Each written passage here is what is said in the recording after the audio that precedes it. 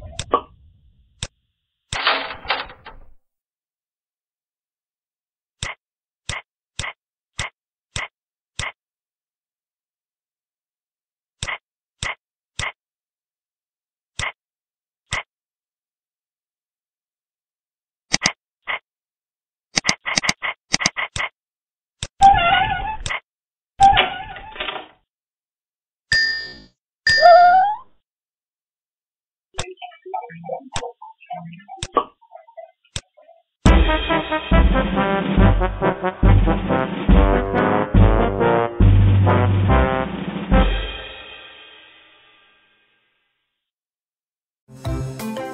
các bạn chơi game vui vẻ. Nhớ subscribe vì nó miễn phí.